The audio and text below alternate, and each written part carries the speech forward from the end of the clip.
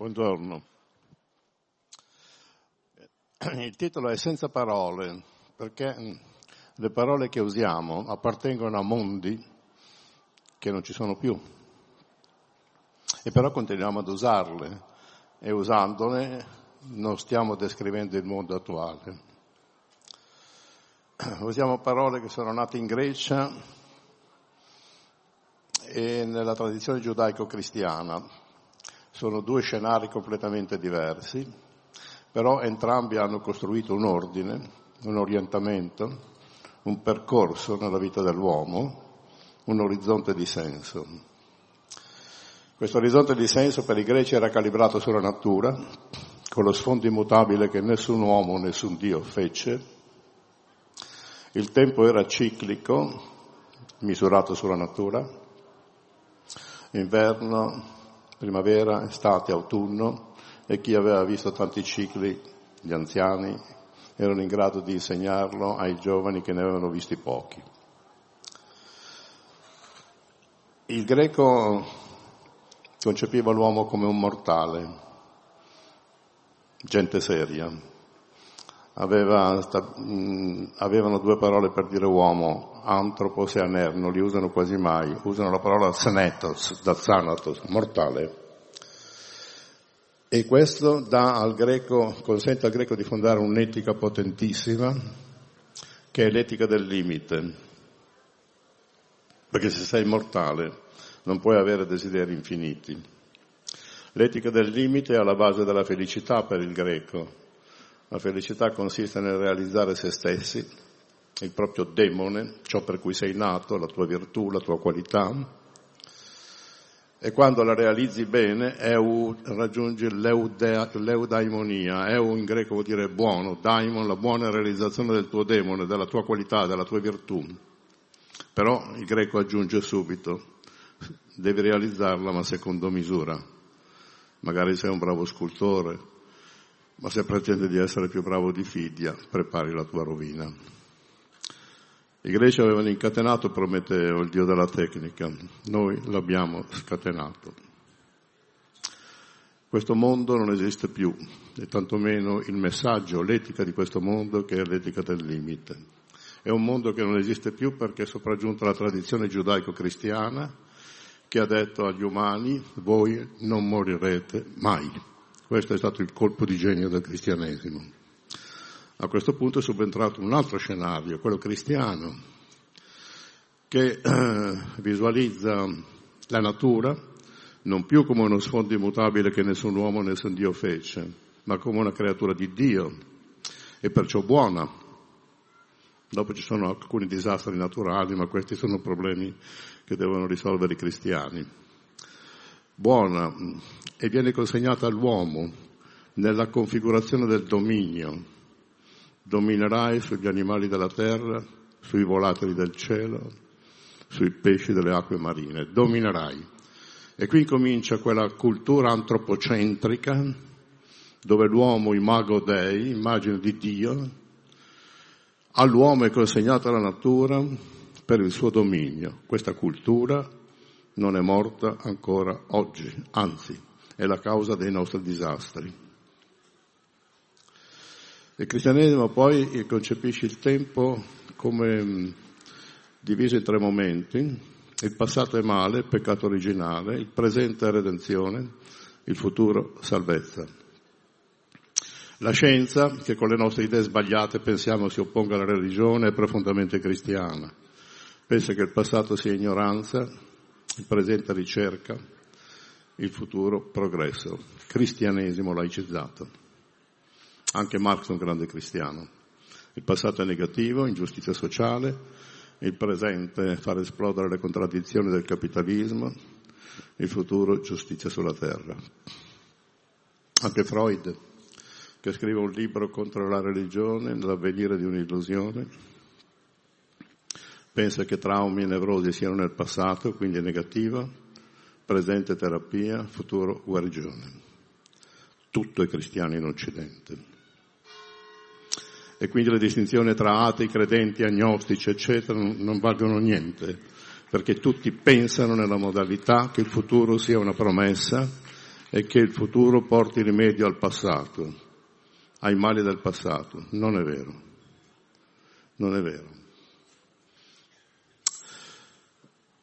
Questa cultura mm, che ci accomuna, eh, perché noi siamo tutti cristiani anche se non lo sappiamo, e ogni volta che usiamo la parola speranza stiamo eh, parlando in maniera cristiana e ne parlano anche gli atei di speranza. Quando sentite i politici che dicono speriamo, auguriamoci, auspichiamo, stanno usando tutte queste parole che io definisco parole della passività. Stiamo fermi, il futuro porterà rimedio. Non è vero. Quindi queste parole vanno eliminate. Anzi, la parola speranza già Pasolini l'aveva tolta dal suo vocabolario, giustamente. Scenario, questi due scenari, che però avevano dato un ordine del mondo, lo scenario greco e lo scenario cristiano, vengono smantellati nel 1500. Incomincia Copernico a dire che la Terra non è al centro dell'universo, ma non è il Sole a girare intorno alla Terra, ma è la Terra a girare intorno al Sole, quindi comincia a diventare un po' periferica questa nostra Terra. Il colpo di grazia lo dà la scienza moderna, inaugurata da Cartesio. Cartesio dice non dobbiamo fare come i greci che contemplavano la natura nel tentativo di catturarne le leggi, onde costruire una città secondo natura, e la conduzione della vita secondo natura. Noi scienziati, noi scienziati dobbiamo formulare delle ipotesi, sottoporre la natura a esperimento e se l'esperimento riesce assumeremo le nostre ipotesi come leggi di natura. Capovolgimento del mondo. Kant ne parlerà come di una rivoluzione copernicana e citando due italiani che sono Galileo e Torricelli dice che con loro l'atteggiamento dell'uomo nei confronti della natura non è più stato quello dello scolaretto che impara tutto quello che dice il maestro, la natura, ma è quello del giudice che obbliga l'imputato, la natura, a rispondere alle sue domande. A questo punto, dice Cartesio, l'uomo diventa maître et possesseur du monde, signore e padrone del mondo. Quindi si è realizzato quello scenario che era nell'ordine di Dio, dominerai, ma questa volta siamo capaci di dominarlo, con le anticipazioni scientifiche verificate dall'esperimento. Diventa reale quello che prima era solo immaginario. Si apre l'età moderna. L'età moderna incomincia a scricchiolare nella, nell'Ottocento, quando Darwin ci dice che l'uomo non è tanto il mago dei quanto il prodotto di un'evoluzione da animali inferiori. Quando Freud ci dice che la coscienza non è autonoma, ma razionalizza pulsioni inconsce. Con Nietzsche che dice sono alla ricerca di un filosofo medico, nel senso eccezionale della parola, per la salute di un popolo, di una razza, dell'umanità, che sappia portare al culmine il mio sospetto che in ogni filosofare non sia mai discusso di verità, ma unicamente di avvenire, sviluppo, potenza, vita. Quindi la verità viene, viene sottomessa, viene subordinata alla vita. Possiamo dire delle verità alla sola condizione che ci servano per vivere, quindi è la vita il soggetto, non la verità. Qui comincia a crollare l'età moderna, che riceve il, loro, il colpo definitivo dalla, dalla fisica del Novecento, con Ernst Mach che stabilisce che non esiste uno spazio assoluto, quello che Newton riteneva fosse addirittura sensorium dei, con Hilbert che dice che la matematica tradizionale non serve per conoscere la fisica subatomica, bisogna ricominciare a ritrattare i fondamenti della matematica. Con, con Planck che fonda la fisica quantistica, mandando in soffitta la fisica galileiana, con Einstein, che stabilisce l'equivalenza tra materia ed energia, con Heisenberg, che stabilisce che non è possibile identificare la collocazione di una, di una, di una particella subatomica perché le condizioni per osservarla ne modificano la, ne modificano la collocazione. Qui l'età moderna trova la sua negazione e il suo ideale che suonava chi pensa bene fa il bene, ha trovato la sua smentita nel nazismo che ha dimostrato che si può pensare in maniera eccellente anche il male. Fine dell'età moderna. Fine dell'età moderna inizio dell'età postmoderna, che io chiamo età della tecnica, dove noi abitiamo attualmente. L'età della tecnica, con la parola tecnica dobbiamo pensare alla più alta forma di razionalità mai raggiunta dall'uomo. Una razionalità che si lascia formulare in un'espressione molto semplice, raggiungere il massimo degli scopi con l'impiego minimo dei mezzi. È una razionalità che la tecnica ha in comune col mercato, ma il mercato la ospita in maniera impura, perché conserva ancora una passione umana che è la passione per il denaro da cui le tecniche del tutto esonerate. Se questa cultura, i cui valori sono efficienza, produttività, funzionalità, velocizzazione del tempo, che ha già superato la nostra capacità te- psicologica temporale, allora l'uomo esce dalla storia perché viene eliminata tutta la sua dimensione irrazionale. E noi siamo uno diversi dall'altro per la qualità della nostra irrazionalità. Irrazionale è il dolore, irrazionale è l'amore, irrazionale è l'idealizzazione, l'ideazione, la fantasia, il sogno. Tutto questo deve uscire fuori dal discorso perché per la tecnica sono solo elementi di disturbo. La tecnica, e qui smobilitiamo un'altra idea arcaica che abbiamo nella testa, senza riuscire mai a convincere nessuno, la tecnica non è un mezzo, non è più un mezzo. La tecnica è un mondo.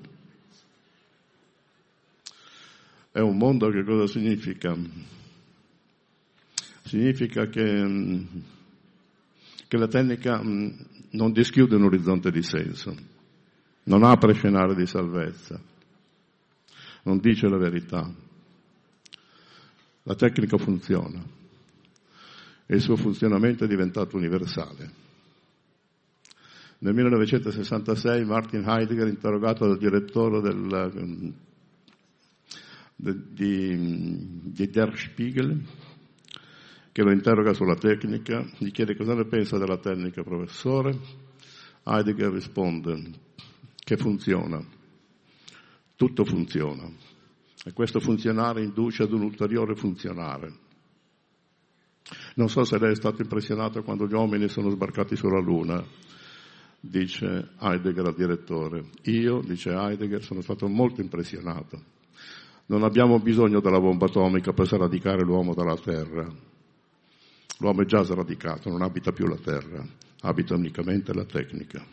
1966, non c'era ancora l'informatica.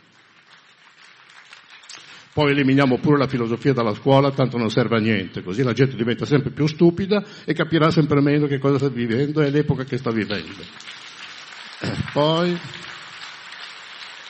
eh, questo concetto, tra le altre cose, era già stato sviluppato da Hegel due secoli nel, primi, nel 1816 in un libro di logica. Hegel dice due cose molto importanti. La prima, la ricchezza delle nazioni non è costituita dai beni, come aveva detto 40 anni prima Adam Schmidt, che aveva scritto il primo libro di economia politica sulla origine e la natura della ricchezza delle nazioni. Lui dice, d'ora in avanti la ricchezza non sarà costituita dai beni, perché i beni si consumano, ma sarà costituita dagli strumenti, perché gli strumenti continuano a produrre beni. Quindi aveva già intuito l'età della tecnica, 1816 ma chi, quando dico Hegel chissà che cosa dico.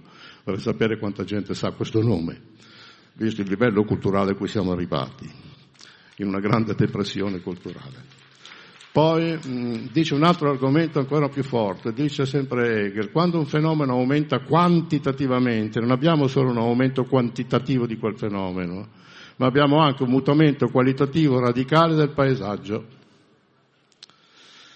Se qui viene un terremoto di due gradi della scala Mercalli neanche ce ne accorgiamo, se viene un terremoto di 9 gradi della scala Mercalli cambia il paesaggio radicalmente, questa piazza diventa un cumulo di macerie. Quindi l'aumento della quantità determina la variazione della qualità del paesaggio. Ora, primo ad applicare questo argomento è stato Marx, il quale dice tutti pensano che il denaro sia un mezzo che ha come scopo soddisfare i bisogni e produrre i beni. Ma se il denaro aumenta quantitativamente fino a diventare la condizione universale per realizzare qualsiasi scopo, il denaro non è più un mezzo, ma il primo scopo per ottenere il quale si vedrà se soddisfare i bisogni e in che misura produrre i beni. Abbiamo quello che in filosofia si chiama eterogenesi dei fini, quelli che quando il denaro era poco erano fini, quando il denaro aumenta e diventa la condizione per realizzare tu, tutti i fini, il fine diventa il denaro e gli altri diventano mezzi per produrre denaro. Se applichiamo questo argomento alla tecnica, se la tecnica è la condizione universale per realizzare qualsivoglia cosa, la tecnica non è più un mezzo, ma è il primo scopo che tutti vogliono e tutto il resto viene subordinato alla tecnica. Cosa succede a questo punto? Che la tecnica mette in moto un cambiamento così radicale del mondo che vi illustro solo per sommi capi perché sennò uh, non arriviamo più al centro del nostro discorso. La tecnica mette in crisi radicalmente la politica. La politica è stata inventata da Platone che l'ha chiamata basilica e tecne, tecnica regia, perché mentre le tecniche sanno come si fanno le cose, la politica decide se e perché si devono fare, quindi ha il monopolio della decisione. Oggi la politica non, più, non è più il luogo della decisione, perché la politica per decidere guarda l'economia, l'economia per decidere guarda le risorse tecnologiche. Allora si è spostato tutto nella tecnica, ma non ce lo dimentichiamo, la tecnica non ha scopi, non ha orizzonti di senso, non dischiude scenari di salvezza la tecnica ha un solo obiettivo, potenziare se stessa. Di lei si potrebbe dire quello che Nietzsche diceva della volontà di potenza. Cosa vuole la volontà di potenza? Vuole se stessa. La tecnica vuole il suo autopotenziamento, a prescindere. La tecnica mette in crisi anche la democrazia, ovvio, perché in una società complessa come la nostra la tecnica butta sul tavolo problematiche che oltrepassano la competenza media di ciascuno di noi. Se facciamo un referendum se aprire o chiudere le centrali nucleari, io dovrei essere, per essere razionale nella mia scelta, dovrei essere un fisico nucleare. Se dobbiamo decidere se accettare o meno gli organismi geneticamente modificati per essere all'altezza di una scelta razionale, dovrei essere un genetista o un biologo molecolare. Ma siccome non sono né l'una né l'altra cosa, come faccio a decidere? Su base irrazionale. Prendo una decisione perché ho una fede, ascolto quello che dice il Papa, oppure appartengo a un partito, ascolto quello che dice il capo del mio partito, oppure non ascolto né uno né l'altro, però quel signore lì che va in televisione a me mi piace, faccio come dice lui. Questa è la base del populismo.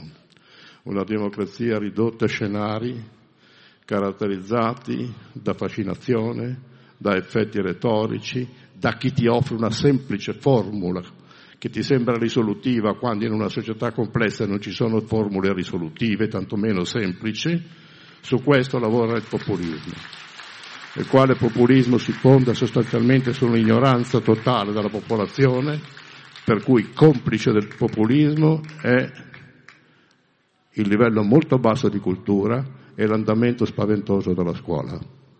Serve al populismo tutto questo. Noi potremmo scegliere se noi facessimo riferimento a quella classe intermedia di competenti.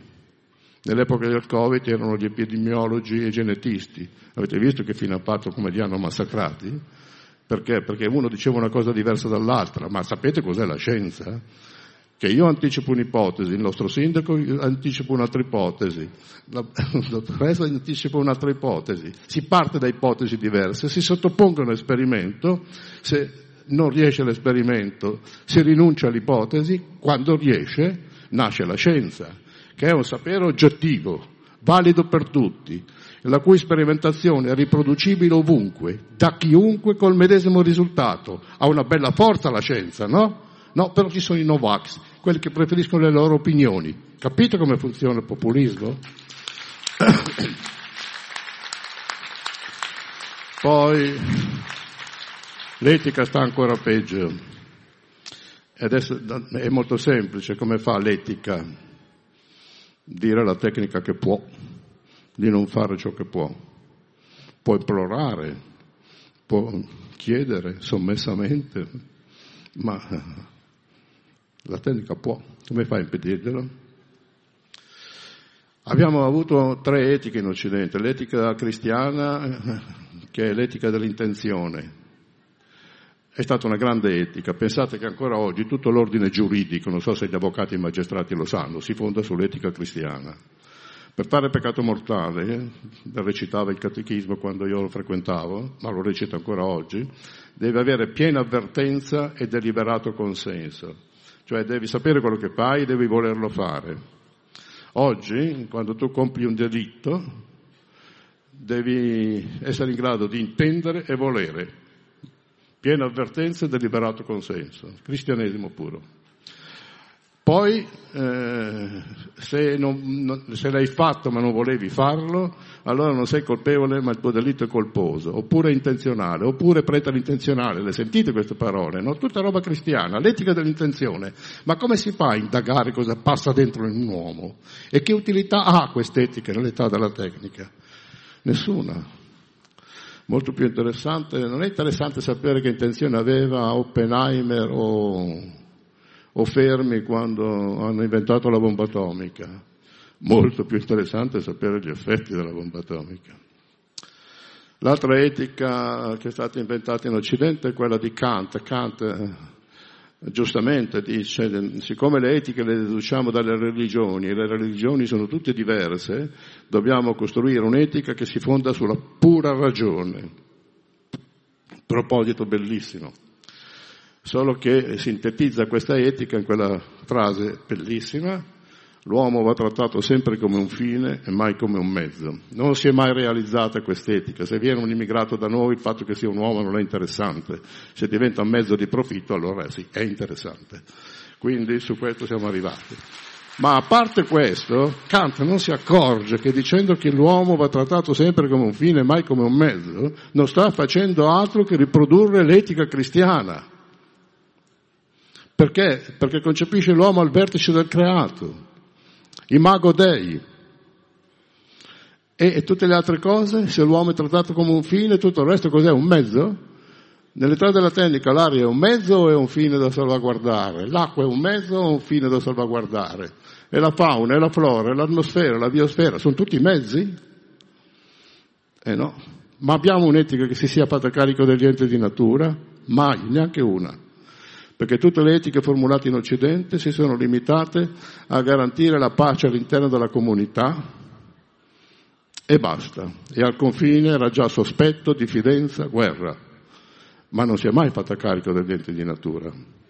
Faccio presente che perché un'etica funziona è necessario che il principio etico diventi inconscio collettivo. Se io stupro una ragazza ho immediatamente la riprovazione generale di tutti voi se inquino non ho la stessa riprovazione, quindi quest'etica deve ancora entrare nella nostra psiche. C'è una terza etica, l'etica formulata da Max Weber, più grande sociologo del Novecento, morto un secolo fa esatto, nel 1920, che ha introdotto l'etica della responsabilità Dice che l'etica, l'etica, cristiana delle intenzioni non funziona nell'età della tecnica, funziona l'etica della responsabilità. Rispondi delle tue azioni. Però è troppo intelligente apre una parentesi, finché le azioni sono prevedibili. Ma è proprio dalla tecnoscienza produrre effetti imprevedibili. Perché non so cosa pensate come funzioni la scienza. Fa bene, faceva bene Veronesi a dire abbiamo un obiettivo, la cura del cancro, datemi soldi così ci mettiamo a cercare la cura del cancro. Non funziona così la scienza. Va bene dire così perché sa che tutti quanti noi, con la mentalità limitata che abbiamo e degradata dalla scienza e dalla cultura, pensiamo in modo finalistico. Ma non funziona così la scienza. La scienza funziona in questo modo. Io studio questa cellula per 15 anni, tu studi questa molecola per 20 anni, tu studi questo neurotrasmettitore per 12 anni, se da queste ricerche, che non sono 3 ma 300.000 al mondo, salta fuori qualcosa di positivo, bene, caso diverso, abbiamo perso tempo. Quindi quelli che noi chiamiamo fini della scienza sono risultati di procedure casuali e sotto questo profilo gli effetti non sono prevedibili. Non sono prevedibili. E oggi noi eh, ci troviamo in quello scenario spaventoso dove la, dove la nostra capacità di fare è enormemente superiore alla nostra capacità di prevedere gli effetti del nostro fare. Quindi ci muoviamo a mosca cieca. E se l'imprevedibile, che era l'angoscia dei primitivi, era dovuta a un difetto di conoscenza, l'imprevedibile per noi è dovuto a un eccesso del nostro fare rispetto alle, alla capacità di prevederne gli effetti. Questo è per noi l'imprevedibile, ci muoviamo a mosca cieca. E a questo proposito, giustamente, Heidegger ci dice, eh, inquietante non è che il mondo si trasformi in un unico enorme apparato tecnico. Ancora più inquietante è che non siamo affatto preparati a questa radicale trasformazione del mondo ma ancora più inquietante, siamo al terzo grado di inquietudine, è che non abbiamo un pensiero alternativo al pensiero capace solo di far di conto, denken als rechnen, calcoli, calcoli economici, calcoli tecnici, non abbiamo un pensiero alternativo, ragioniamo tutti così. Quando si è cominciato a ragionare così? E quando incomincia all'età della tecnica, incomincia, io seguo qui la, la, l'affermazione di un allievo di Heidegger, tale Gunther Anders, ebreo, scappato in America, andato a lavorare alla Ford per guadagnarsi il pane, che scriveva al suo maestro, oh, maestro lei mi ha insegnato che l'uomo è il pastore dell'essere, io qui alla Ford sono il pastore delle macchine. Nel rapporto uomo-macchina la guida è già passata alla macchina lo scriveva alla fine degli anni 30. Bene, lui dice che la, l'età della tecnica è nata dal nazismo, io sono d'accordo con lui, è nata dal nazismo e il nazismo ha dato l'imprinting all'età della tecnica, il modo di essere, eh, di vivere nell'età della tecnica è stato escogitato dal nazismo. Non sto a fare tutti i ragionamenti che fa Gunther Anders, porto solo un esempio molto rapido. Gitta Sereni, una giornalista ungherese naturalizzata inglese, ha intervistato il, il, capo del campo di concentramento di Treblinka, tale Franz Stangl, e gli ha chiesto eh, cosa per 70 volte, nelle sue 70 interviste, oggi pubblicate da Adelphi, gli ha chiesto per 70 volte cosa provava a fare quello che faceva. E la risposta di Franz Stangl non viene. A un certo punto Gitta Sereni viene un'illuminazione. Vuoi vedere che lui non risponde non perché si vergogna, ma perché non capisce la domanda. E infatti Franz Tank risponde e dice, ma scusi, perché mi fa questa domanda cosa provavo? Io no, qui non ero incaricato di provare qualcosa, io ero incaricato di far funzionare il sistema. E se il sistema prevedeva la soppressione di 5.000 persone alle 11 del mattino e 3.000 alle 5 del pomeriggio e l'indomani tutto doveva essere ripulito per ricominciare con questo ritmo, io che ero bravissimo nel mantenere questo ritmo ero un ottimo funzionario. Nell'età della tecnica questa è la regola. Fate un po' di riflessione dove andate a lavorare. Supponete che un capo area di una banca dica ai suoi funzionari dobbiamo smaltire tutti i titoli ammalorati che abbiamo in banca, vendeteli a chi non se ne intende di economia e vuole investire. Il funzionario può provare qualcosa e poi provi a non venderli, perde il posto. Quando voi andate in ospedale vi si applicano i protocolli, vero? Io ho sentito a un congresso di medicina molto importante che i pazienti si collocano in una curva di Gauss. Curva di Gauss vuol dire un semicerchio, così. Quelli che sono in mezzo e sono i più, se applichi il protocollo funziona. Quelli che sono all'inizio e sono alla fine, applichi il protocollo e l'ammazzi. Allora io sono un medico che vedo che questo qua non è proprio nel mezzo, ma è più, è più vicino all'inizio, alla fine della curva di Gauss. Allora non applico il protocollo e vedo di applicare altri, altre strategie. Magari lo guarisco, ma magari muore. Se muore, questo medico va nei guai perché non ha applicato il protocollo. Se invece il medico che applica il protocollo vede che questo qui non è proprio, non è proprio al mezzo, ma all'inizio e alla fine, però lui applica il protocollo, il paziente muore, ma lui ha posto, ha applicato il protocollo. I signori professori che vanno in classe e svolgono perfettamente i programmi ministeriali, alla fine dell'anno, bravi, hanno applicato il protocollo. I professori invece che parlano con gli studenti perdono un po' di tempo per capire quello che succede in quell'età incerta che si chiama adolescenza e magari non finisce il programma ministeriale, corre dei guai. Quando io vado a pagare le bollette in posta, perché non sono capace di pagarle online, vedo che ci sono delle vecchiette che chiedono alle impiegate eh, delle informazioni. E devo dire che là dove vado io le impiegate sono molto gentili, cercano di spiegare il più possibile, poi a un certo punto si fa la coda e allora dicono, devono chiudere il discorso e dicono a queste vecchiette, sì, signora, però devo dirle una cosa, che quello che mi chiede è fuori dal mio mansionario. Franz Stankl. Capito cosa vuol dire essere nell'età della tecnica? Diventare funzionario di apparato dove ciò che fai non è importante, è importante come lo fai. Se stai costruendo le mine anti-uomo e su 100 che ne fai 99 fanno saltare per aria, sei un bravo operaio, ma se ne saltano solo 50 non sei un bravo operaio. Avete visto dove si sposta il bene e il male? Non sulla cosa che fai, questa è di competenza dell'apparato.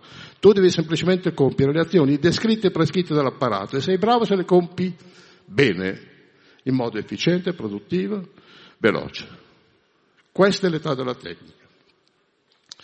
Lasciamo l'età della tecnica ed entriamo in una sorta di spaesamento Spaesamento perché? Perché l'individuo ha un'identità che non è neanche più la sua faccia, il suo volto, ciò che è, perché l'identità gliela dà l'apparato. Se gli fa un aumento in carriera hai un aumento di identità. Se ti fanno il mobbing hai un decremento di identità, una demotivazione, una depressione, al limite anche il gesto estremo. La tua identità è un dono sociale, questa è una grande verità. Ma noi questo dono sociale l'abbiamo trasferito all'apparato, al ruolo che noi svolgiamo la verità non è più la contemplazione di un ordine, la verità è ridotta pura e semplice efficacia. Se, uno, se un'azione riesce è vera, se non riesce è falsa. È l'efficacia che misura la verità, non l'ordine e la conformità a quell'ordine. Le ideologie, tutti quanti diciamo che sono crollate le ideologie, perché? Perché un'ideologia sta in piedi se c'è la tecnica che la sostiene. Quando l'Unione Sovietica nel 1960 ha, cacciato, ha lanciato il primo Sputnik nello spazio quando gli americani non erano ancora in grado, il fine, l'egemonia del comunismo poteva diffondersi e rimanere. Ma quando nel 1989 la tecnica americana era infinitamente inferiore a quella del suo antagonista, la tecnica sovietica era infinitamente inferiore a quella a quella americana, tant'è che Gorbaciov andò a pregare Reagan di non fare lo scudo stellare perché l'Unione Sovietica non avrebbe avuto una contromisura adeguata. A quel punto il fine, egemonia del comunismo, crolla. Quando crollano i grandi sistemi non è andato a cercare nel fatto che la gente aveva fame, non poteva uscire dai propri confini, oppure era perseguitata, osservata, oppure perché c'era un papa anticomunista, ma andate a cercare queste spiegazioni umanistiche quando succedono i cataclismi le spiegazioni sono ben più sotterranee, ben più telluriche. Il problema è la potenza tecnica. Se c'è la potenza tecnica, allora può mantenere il tuo fine, altrimenti no.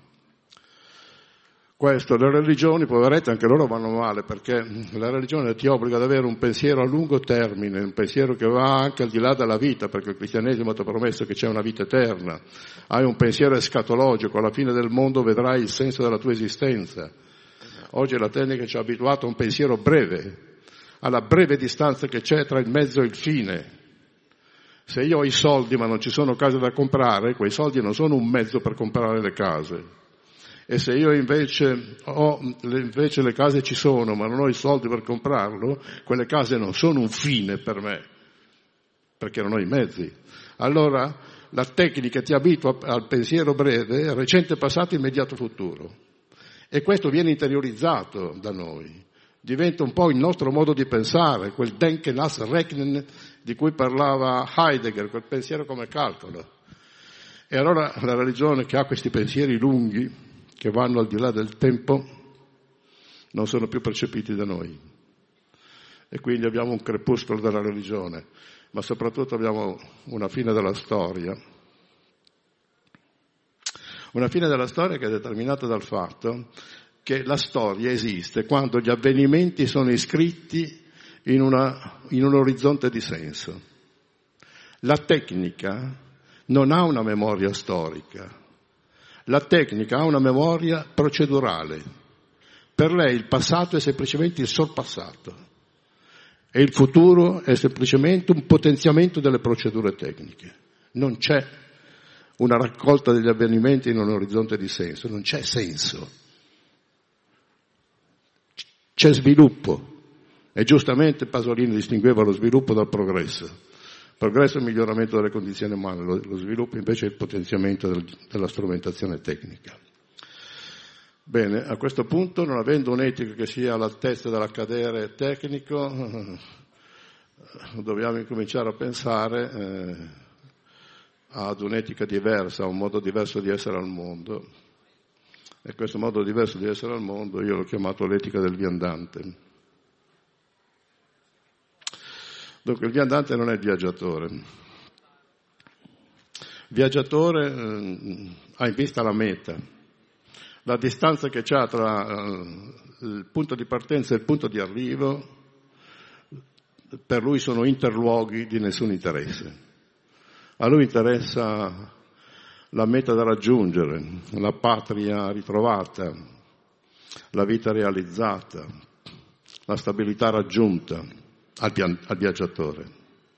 Il viandante non ha scopi, lui cammina, non ha scopi da raggiungere, né scopi escatologici a lungo termine, né mete da raggiungere durante il cammino. Lui cammina per fare esperienza. Noi non facciamo più esperienza del mondo perché guardiamo il mondo nei nostri strumenti tecnologici, che non è il mondo, ma il mondo che ci è fornito da loro. Mm? Una volta avevo voglia di fumare, non avevo sigarette in tasca, sono andato a un tabaccaio, sono uscito ma non avevo l'accendino, ho chiesto a due ragazzi che mi avevano interpellato, avete un accendino? No, mi hanno detto, guarda che però là c'è una ragazza al bar che sta fumando, vado là, chiedo, chiedo l'accendino, me lo tira non perché fosse maleducato, ma perché stava guardando il telefonino, io glielo restituisco, chiedo a questi due ragazzi, ma voi non, guard- non guardate più in faccia, in faccia alla gente? E eh no, caro professore, noi guardiamo così, noi guardiamo così. Ah. Allora, mm, il, il, il, il viandante mm, si muove per fare esperienza incontra il prossimo sempre meno specchio di, di sé e sempre più altro. E quindi è costretto a fare i conti con la differenza, come noi a nostro tempo siamo stati costretti a farla con la proprietà, il territorio, il confine, la legge. Per lui invece la grande esperienza è l'esperienza della differenza, si accorge che gli uomini sono tutti diversi ed entrare in relazione con il diverso sarà il futuro della terra. A suo parere i confini sono più nella testa degli uomini che nel disegno della terra. Dal suo punto di vista siamo tutti uomini di frontiera. I processi migratori a cui stiamo assistendo ci fanno incominciare ad udire le storie sommerse dalla narrazione della storia occidentale. Vengono a raccontarci quello che noi abbiamo sepolto per, per, da sempre venendo da voi confondono i confini e inaugurano una storia che sarà nel segno della deterritorializzazione. Questo sarà il nostro futuro. Le migrazioni non sono un'emergenza, è la storia eterna dell'umano. È la storia eterna dell'umano. Però non dobbiamo intendere il, l'etica del viandante come una anarchica erranza. Il viandante ha delle cose da raccontare, proprio perché percorre la terra e vede le condizioni della terra. E dal suo punto di vista la terra incomincia a non essere più il centro del mondo, ma sa che la terra appartiene alla periferia di un sistema solare, il quale è inserito in una galassia, tra le migliaia che si spostano in uno spazio smisurato. Cominciamo a decentrarci un po' rispetto a quel concetto che la Terra è il centro dell'universo. Perché anche se lo sapete che non è al centro dell'universo, vivete come se fosse al centro dell'universo. Poi il viandante sa che la vita è possibile solo in questa periferia e non col governo dell'uomo su tutte le cose, ma con l'interconnessione dell'uomo a tutte le cose, perché il viandante sa che, per esempio, gli animali si alimentano dalla fotosintesi delle piante, le piante si alimentano dall'anidride carbonica emessa dagli animali, le radici delle piante sono fecondate dall'azoto rilasciato dai microorganismi, microorganismi, piante, animali, uomo tengono in piedi quel, quella pellicola sottilissima che si chiama biosfera, che il giorno che si rompe o che si consuma, la Terra è finita. Quella terra, la biosfera sa che le cose vanno così. Ora, eh, eh, c'è l, quel sociobiologo che io ammiro molto, che aveva scritto negli anni 90 quel bellissimo libro di sociobiologia, adesso ne ha scritto uno su, sulla creazione, in cui dice che la specie umana è diventata la forza geofisica più distruttiva di quanto possono essere distruttive gli sconvolgimenti della Terra. La, for, la specie umana è diventata una forza geofisica la più distruttiva. Ci vogliamo rendere conto di queste cose? Ci dicono qualcosa il buco dell'ozono, il riscaldamento globale, lo scioglimento dei ghiacciai, l'aria e l'acqua piena di infezioni, i rifiuti scaricati nei, nei fiumi, nelle acque, negli oceani. Ci dicono qualcosa o non ci dicono niente? Ci dicono qualcosa e non basta a questo punto sentire come si sente dire bisogna porre un limite alla tecnica. Bisogna porre un limite alla tecnica limitiamo l'emissione de, de, de, che vengono dalle macchine a scoppio, dal motore a scoppio, limitiamo.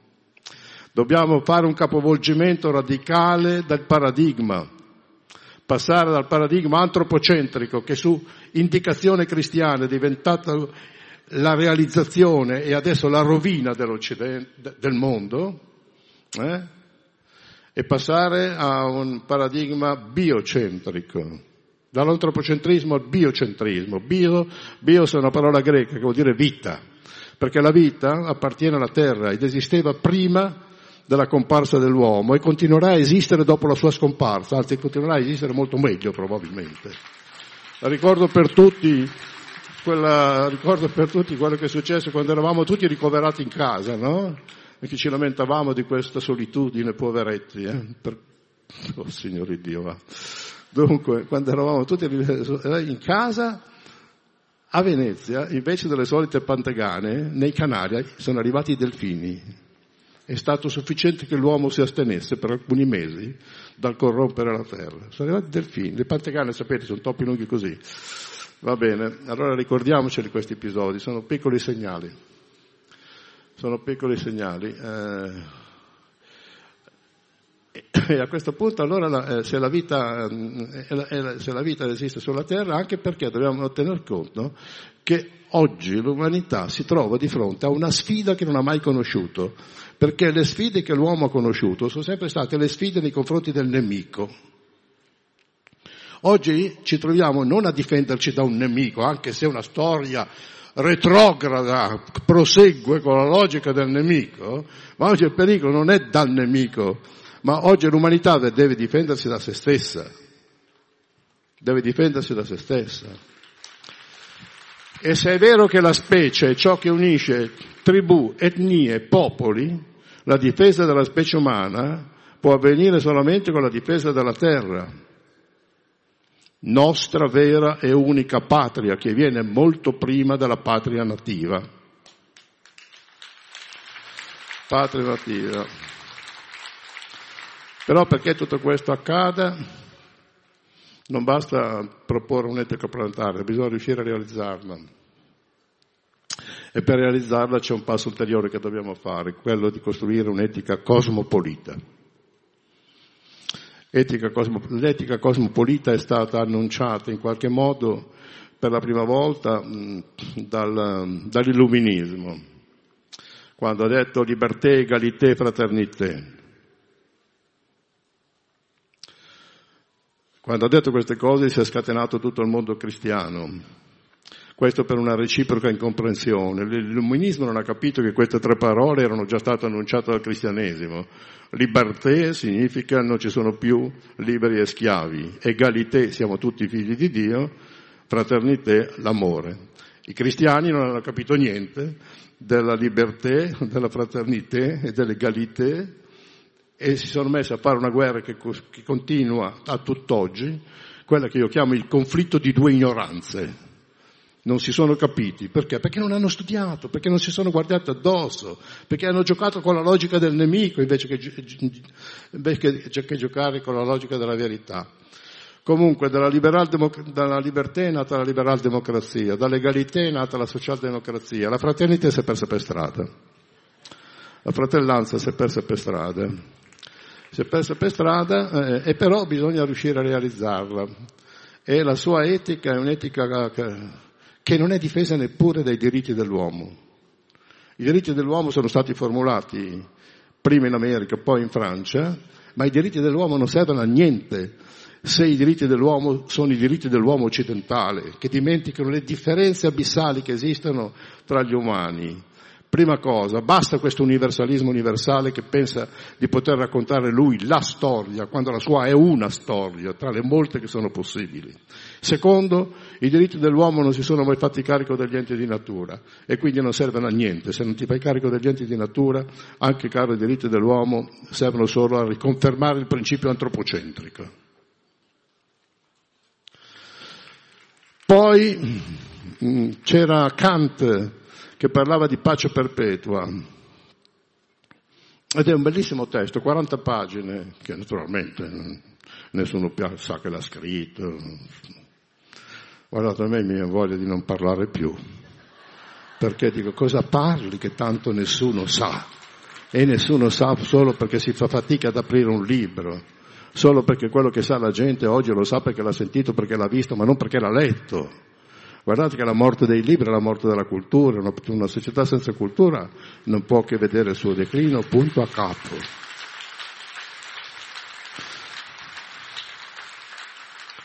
Punto a capo. La pace perpetua, dice Kant, è possibile solo se si eliminano gli stati, perché lo Stato è il regime della massima violenza, garantisce la pace al suo interno e fuori di lì è subito guerra e poi vive di una logica che non è, non è funzionale alla salvezza della terra, che è la logica del nemico. Perché la logica cosmopolitica o della fratellanza stabilisce non uccidere. Lo Stato limita il non uccidere all'interno dei suoi confini, poi fuori subito guerra. La logica della fratellanza o cosmopolita dice i beni della terra sono a disposizione di tutti gli uomini. La logica dello Stato dice prima gli italiani non va bene.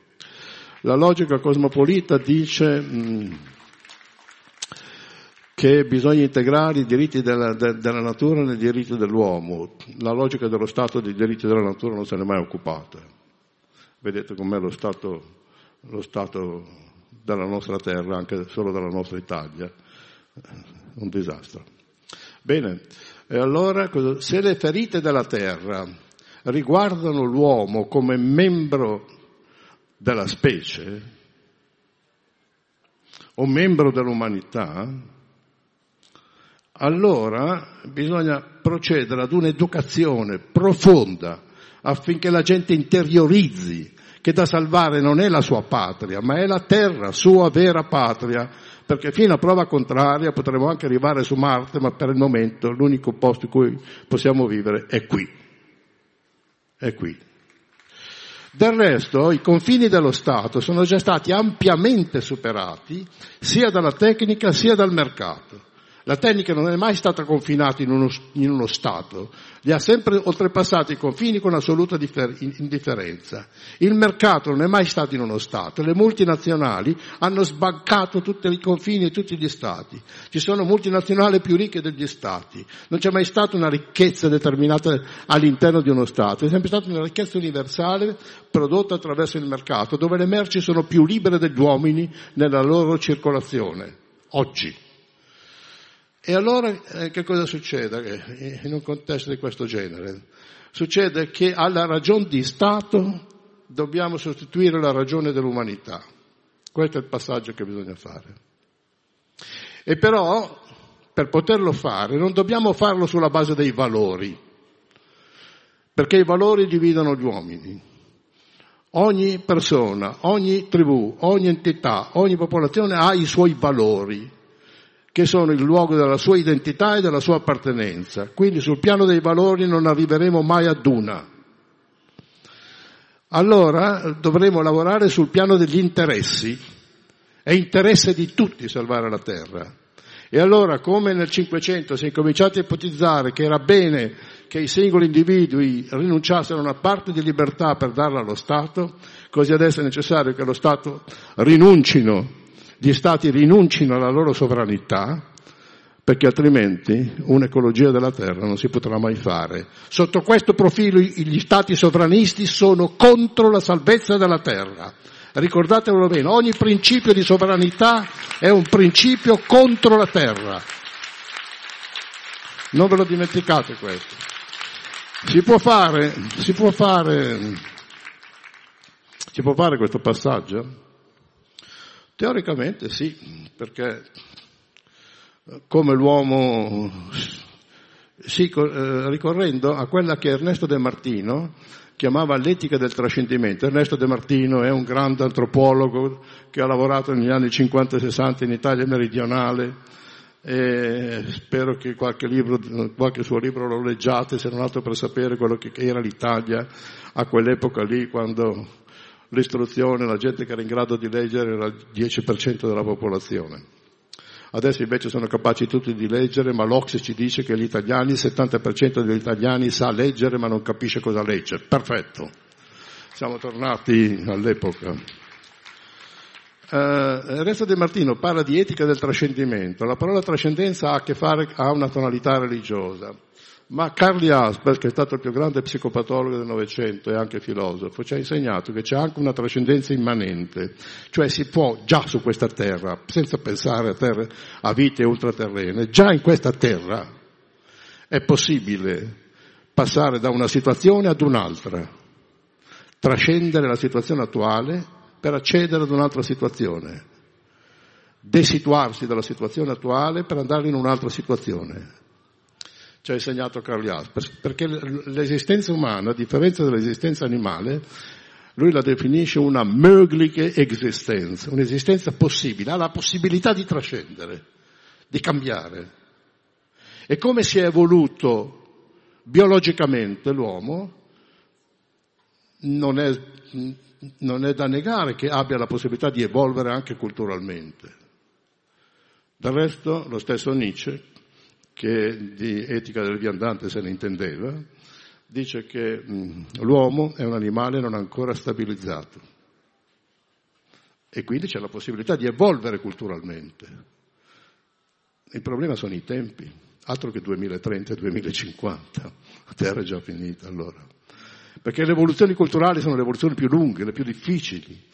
Però almeno fino a lì dobbiamo attendere, perché se non evolviamo culturalmente dalla logica del nemico alla logica della fratellanza, se non andiamo oltre le nazioni per capire che la terra è la terra da difendere, non la nostra patria, se non capiamo queste cose, se non le insegniamo, se non ci muoviamo, i ragazzi cominciano a dirlo, lo urlano anche e fanno bene ad urlarlo, ma non hanno nessun elemento di ricatto per questa società adulta che pensa solamente a se stessa e nell'arco breve della propria vita. Come fate? Ora eh, chiudiamo con questa affermazione.